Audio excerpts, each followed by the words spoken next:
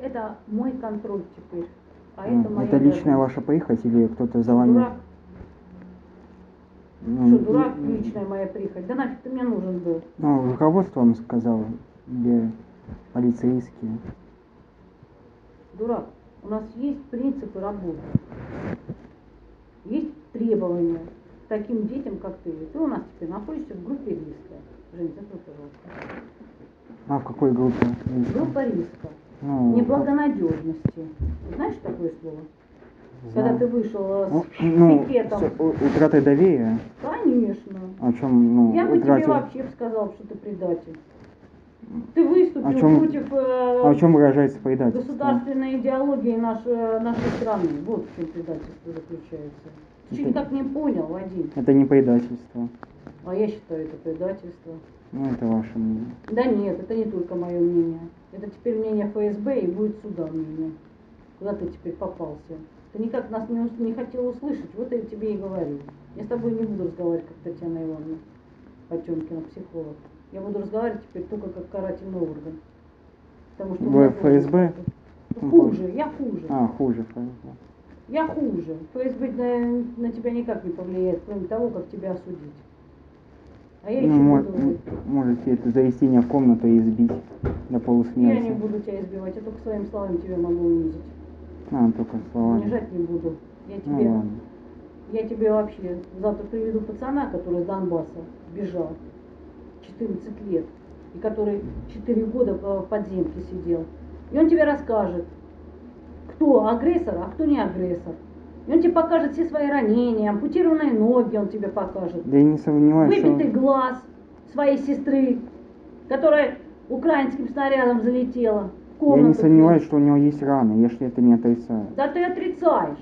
Ты говоришь, что Я мы не агрессоры, говорил а я этого. тебе покажу другую сторону агрессии. Я не говорю... Да, ты не говорил, ты выступил своим движением, уже все сказал.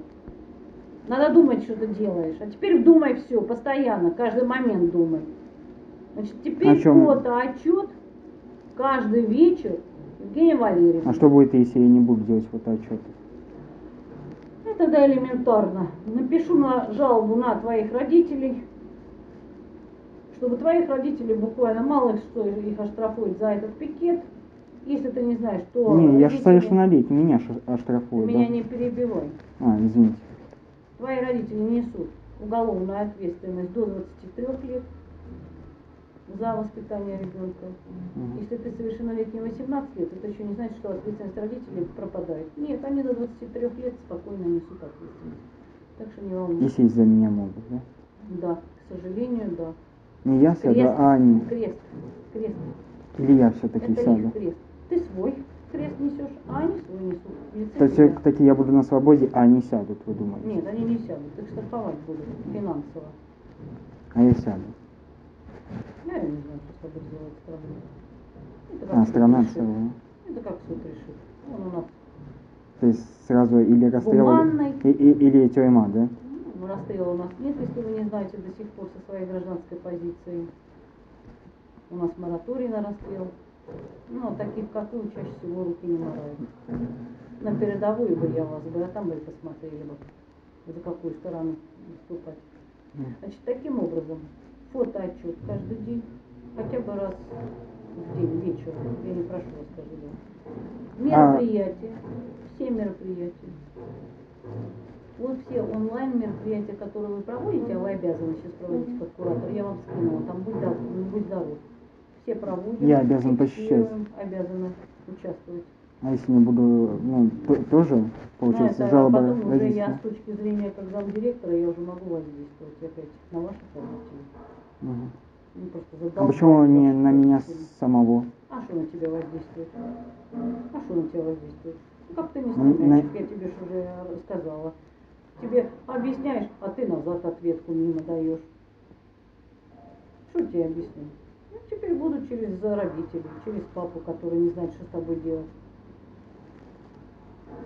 Дети просто не завидуют. Мне тебя жалко. Так вам руководство сказало таким заниматься?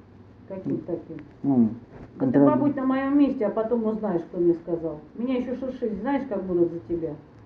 А кто? Тише, все рассказывать, кто, ты кто такой? Тебе Ну, только ну, 18 я лет, а мне просто не- 52 года про- уже, просто- мальчик. Просто интересуюсь. Да твой интерес, ты возьми тогда законы почитай. Не в том месте у тебя интерес на букву «С».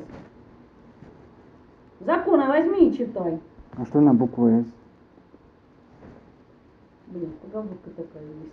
Интерес на букву «С».